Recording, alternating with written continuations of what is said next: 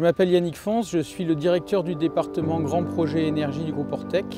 Euh, ce département a été créé pour accompagner EDF dans euh, ce qu'ils appellent le grand carénage, c'est-à-dire les opérations de maintenance et d'amélioration de la sûreté sur une quinzaine d'années, euh, de façon à coordonner les compétences internes du groupe Ortec dans le domaine de l'ingénierie et des travaux sur des opérations de renforcement de la sûreté des centrales nucléaires d'EDF.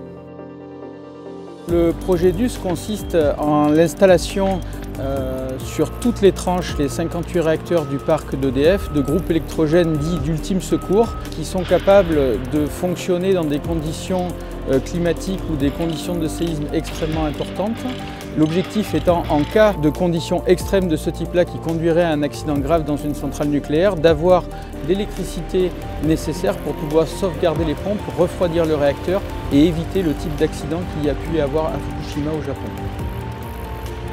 Le projet DUS pour EDF, ces enjeux, c'est l'amélioration de la sûreté des centrales nucléaires françaises en réponse aux demandes d'EDF de pouvoir euh, sauvegarder le réacteur en cas d'accident grave et pouvoir, produire de l'électricité euh, en vue de son refroidissement.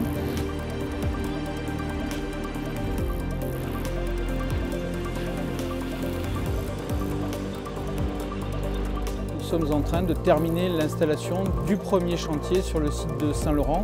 Les essais euh, système devant euh, démarrer début janvier 2017. Ensuite, l'enjeu évidemment, c'est de reproduire ce chantier 35 fois euh, jusqu'à à peu près mi-2018.